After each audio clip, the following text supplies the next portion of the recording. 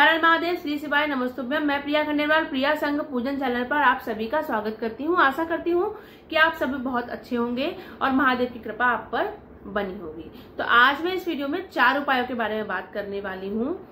चारों उपाय बहुत महत्वपूर्ण है। पहला उपाय बहुत ही महत्वपूर्ण है, क्योंकि वह सावन महीने में ही करना है। तो आप उस वीडियो को ध्यान से सुने और अंत तक देखें, आपको सब कुछ समझ में आ जाएगा।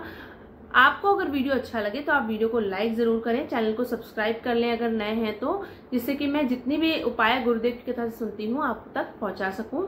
और कमेंट बॉक्स पर हर हर महादेव ज़रूर लिखें। सबसे पहला उपाय आपको करना है, दसवीं तिथि के दिन, सावन की दसवीं तिथि के दिन ही ये उपाय किया जाता है। और यह बहुत महत्वपूर्ण उपाय है तो आप ध्यान से सुने।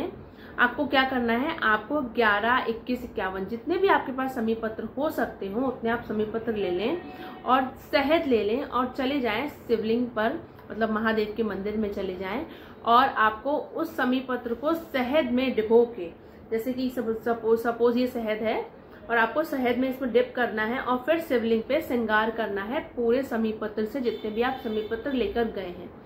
आप बहुत अच्छे से शहद आप लगाएँगे तो समी पत्र अच्छे से चिपक जाएगा शिवलिंग पर तो आप पूरे शिवलिंग पर उसका श्रृंगार करें।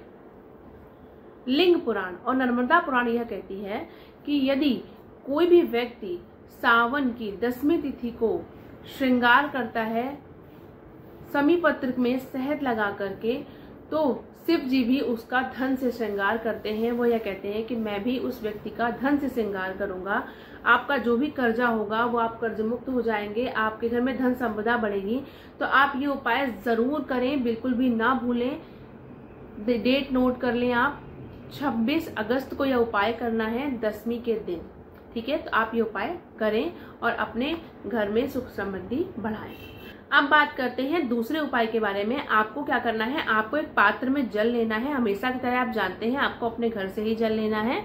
और तांबे के पात्र में आप जल ले लें, उसमें सात साबुत चावल के दाने डाल लें और उसके बाद उसमें पाँच सफ़ेद पुष्प डाल लें। केतकी का पुष्प नहीं होना चाहिए हम सबको ही पता है। तो आप कोई भी सफ़ेद पुष्प ले सकते हैं, लेकिन केतकी का पुष्प आपको नहीं लेना है। तो पाँच पुष्प उसी पात्र में डाल लें और एक दुर्वा लेनी है, लंबी दुर्वा लेनी है, जिसमें तीन गांठ पड़ जाएँ। तीन आप उसमें बल पड़ जाए, ऐसी दुर्वा आपको लेनी है, लंबी दुर्वा। वो भी आप उसमें डाल लें, जल के पात्र में ही डाल लें और फिर आप चले जाएँ शिवलिंग पर मंदिर में और उसका अभिषेक करें। अभिषेक किस तरह से कर, तरह से करना है आपको ये बता देती हूँ।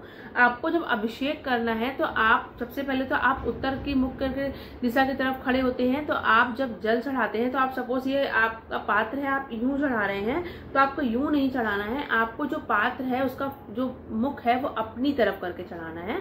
ऐसे आपको पात्र लेकर के शिवलिंग पर जल चढ़ाना है तो इस तरीके से आप चढ़ाएँ। देखेंगे कि आप पर महादेव की कृपा बनेगी और आपकी सारी दुख परेशानियाँ दूर हो जाएँगी। अब आते हैं तीसरे उपाय के बारे में बात करते हैं कि आपको क्या करना है। यदि आपका भाग आप साथ ही नहीं दे रहा है, बहुत विपरीत परिस्थितियाँ चल रही हैं, आपको कुछ भी समझ में नहीं आ रहा है, हर तरफ़ से सिर्फ़ परेशानियाँ ही परेशानियाँ आ रही है तो आप एक काम करना स्टार्ट कर दीजिए। आपको क्या करना है, आपको एक बेलपत्र लेनी है। ऐसे बेलपत्र आप ले लीजिए। और जैसे ये चंदन मैंने देखिए घोल के रखा हुआ है, आप ये चंदन ले सकते हैं। और इस चंदन में आप जो बीच वाली पत्ती होती है, इस पर आपको ऐसे एक बिंदी लगानी है। ये बिंदी लगाने के बाद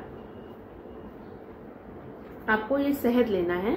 और शहद से आपको इस तरीके से, शहद में, मैं दिखाती हूँ आपको, आपने ये इस तरह से शहद ले लिया।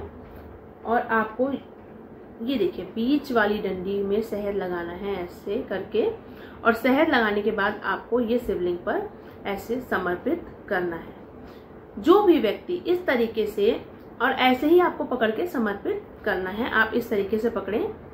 और समर्पित करें शिवलिंग पर।